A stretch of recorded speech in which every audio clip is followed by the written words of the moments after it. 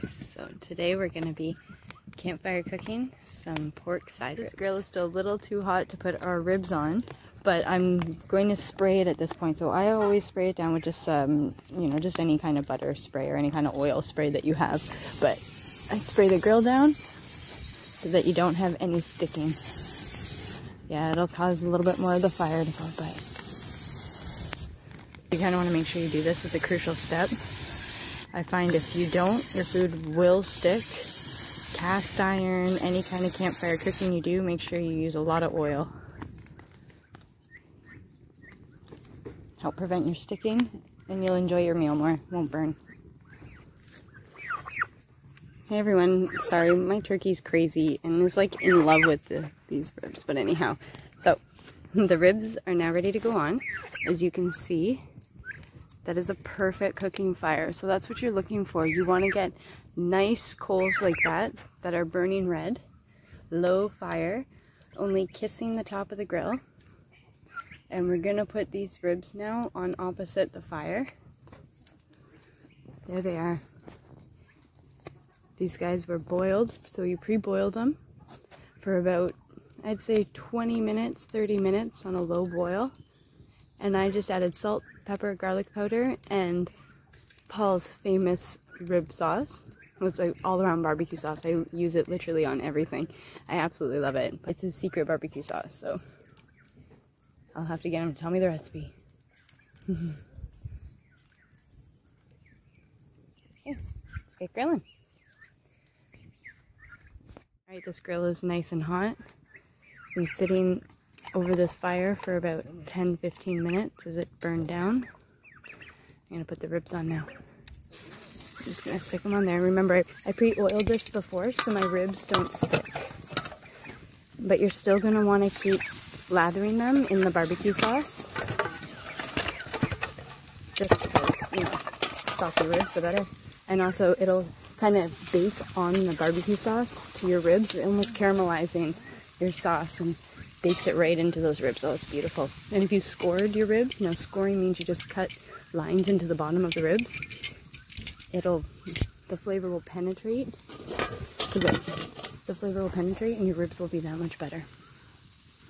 Especially if you've marinated them for a couple days beforehand, like we have done.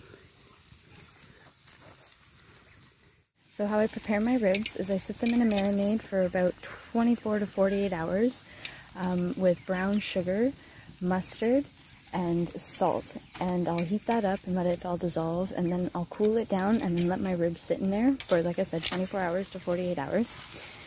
And then afterwards, I'll take them out, boil them for about 20 minutes on a low boil. And then you're going to take them out, season them.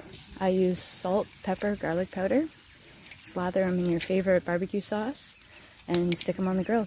Oh, sorry, and before you marinate them, the very first step, you want to make sure that you score your ribs. Now, scoring it is taking off the excess fat that's on the bottom there, and just slicing some lines in them. So, it's a little tip to make your ribs a little bit better for your next barbecue cookout. Okay. So, now that they're they have been boiled, so they're pre-cooked, you just want to kind of get that nice charcoal taste to them. Mm-hmm. The turkeys are going crazy. They're all sitting here in the sun right now, catching some rays, getting warm, loving life. It's just like the meat birds. All the animals, actually everything on this homestead is treated with respect, and they're all spoiled rotten.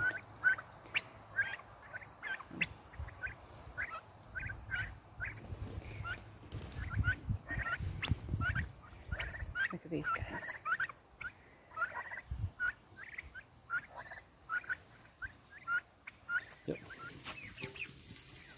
Okay, so now that we've flipped them, it doesn't take long. You're just gonna kind of take your barbecue sauce. You can always add extra and lather the ribs. So make sure you do this whenever you flip to make sure the sauce caramelizes into your ribs and gives it a nice crispy coating. The ends will be the best. You see these burnt ends? Oh, that's going to be so amazing. It's going to taste like a campfire glory. Okay. Now these are just about done. I'm going to want to flip them because again the fire's a little hot, but that's alright. You're just going to want to kind of turn them around. Turn them. And there we go. An even charcoaling. I'm going to actually kind of move them away from this flame a little bit more too. But they're looking perfect.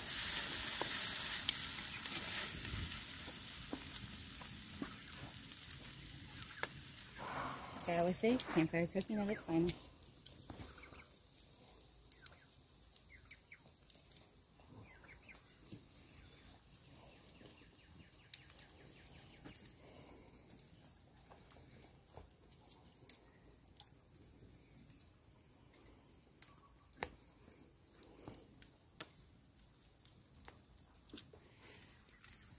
Okay, these babies are done. At that. Nice grill.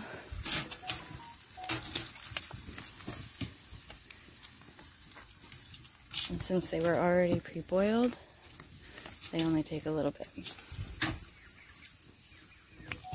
Okay, take these off.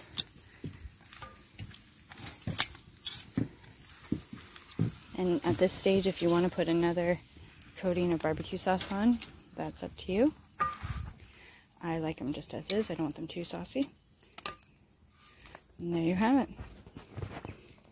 Campfire barbecue side ribs.